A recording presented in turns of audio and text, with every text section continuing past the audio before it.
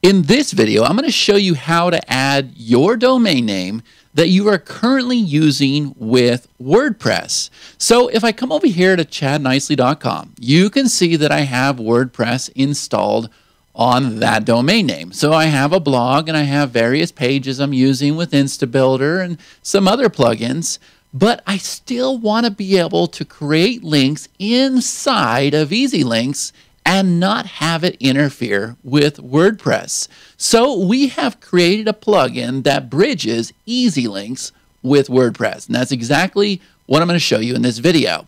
So if we come back over here to EasyLinks, let me just explain this a bit further.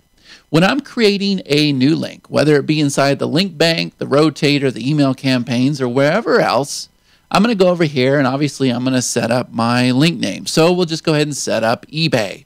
And so obviously my destination link is going to be ebay.com. Now, we have the option to go ahead and choose an admin domain. Most of you are familiar with this. So ibi3g.com is our admin domain. And notice I've got the username inside of the link as well. That's not great for branding. That's fine if you're just doing like a short term affiliate link or you need to set up a campaign in a hurry. But if you want to start branding yourself and you want to have a nice, clean link without our admin here, well, that's how we're going to do this. So, step number one, you're going to come over here to manage groups and you're going to click on domains. And now I'm going to go ahead and click add new user domain. So we'll click this and there's three fields that we need to fill out here for WordPress. So my name is going to be chadnicely.com. This be whatever you want. And then what we're going to do is we're going to put in a slug. Now, this doesn't have to be a big deal, okay? This is used to identify you inside the URL. So it can be something like recommends, bonus, you can do a simple letter, whatever you want to do, okay? So for this, I'm just going to go ahead and do recommends, and then we're going to go ahead and put in our URL. So http colon forward slash slash and then chadnicely.com. And that's it. Don't worry about the CNAME URL. It has nothing to do with WordPress. So we're going to go ahead and click Save Changes. These three fields right here, that's all we need. And let's go ahead and click Save Changes. Now, we see that my domain name has been added to Easy Links and we've got some options here. Now, since we're dealing with WordPress, the one that we're interested in is the one that says download WP plugin. So I'm going to go ahead and click this. And you see that it's gone and saved this zip file to my computer. So I'm going to go ahead and take this one called recommends and I'm going to go ahead and paste this on the desktop. That way I know exactly where it's at. Here it is right here. The next thing we want to do is we want to go ahead and log into our WordPress site. So I'm going to go ahead and go chadnicely.com forward slash WP admin. But if you're familiar with WordPress, you already know how to do this. Now I should already be logged in. So what I want to do is I want to go ahead and install a plugin, just like we've always done before. So I'm going to come down here to plugins. I'm going to go ahead and click this. And now we're going to click on add new.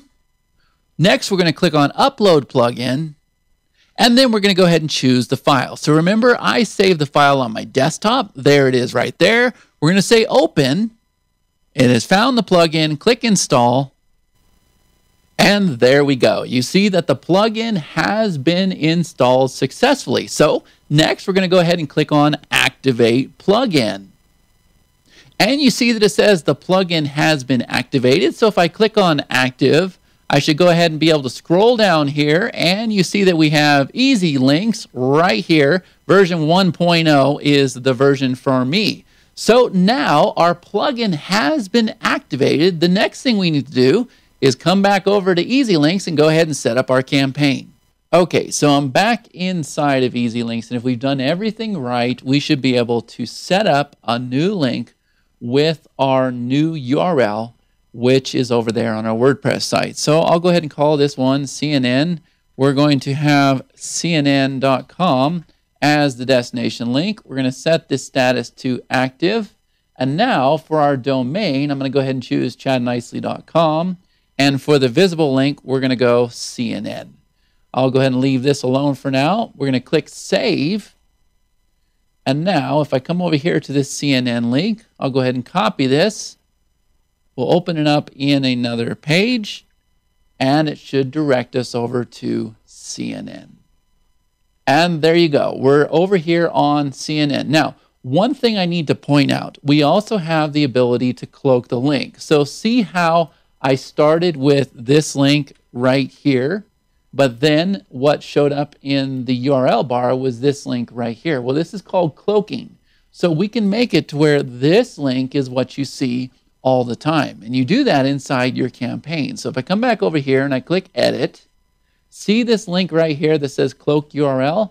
As soon as you click that, it'll show this visible link in the URL bar at all times. So they will never see the destination link. Okay, so that's how you use this domain on a site that's already using WordPress.